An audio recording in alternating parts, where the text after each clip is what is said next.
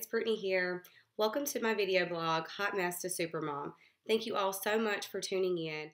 Um, I'm really excited about this new project because it's something I've never done before. Now felt like the right time to start um, really showing the world more about my day to day life and my family life. Um, I feel that my stories and my family stories hopefully help other people going through similar situations.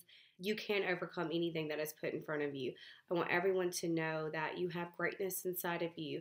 It's just going to be a matter of overcoming the obstacles that you're faced with and finding your inner strength that will get you through your hard times.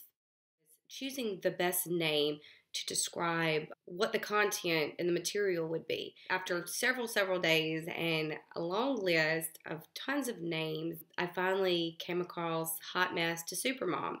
I wanted to um, depict a journey that um, that not only am I on daily, but I feel like I'm on right now um, a new chapter in my life where I'm taking on um, new and exciting endeavors I'm pursuing my dreams and my passions, while at the same time, I'm still a mom.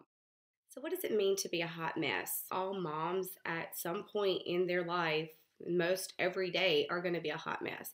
And that simply means um, those are the moments when we don't have our makeup on and we don't have our hair done or not even dressed. We're in our pajamas and yoga pants and we're running after kids and we're just doing what we can. Even when we do pull ourselves together, um, for example, me right now, I have my hair done and my makeup on.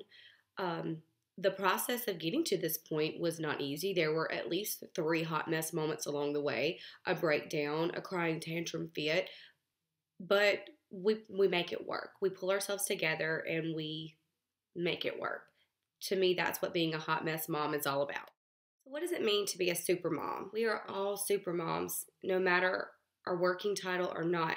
We all juggle so much throughout the day while taking care of these children, and we do it to the best of our abilities. And to me, that is super. Don't feel that just because you don't have a full time job that you do not have value and you do not work because I guarantee you, stay at home moms, you work just as hard as those other moms working nine to five, if not more.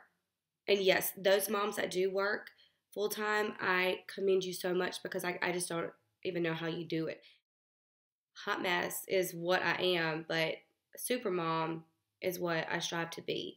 I am nowhere near a super mom all the time, but I really do feel like I have these really shining moments where the super mom in me comes out and really shines. And I feel that that is not only true to me, but true to so many other moms out there. We all have these amazing super mom abilities, whether you know you do or not, I promise you, deep inside, you have that super mom superpower that can just come out and save the day. We're going to go from being a hot mess to being a super mom. And if I can do it, anyone can do it. Thank you all for watching this video. If you enjoyed it and look forward to seeing more videos like this, be sure to subscribe to my YouTube channel.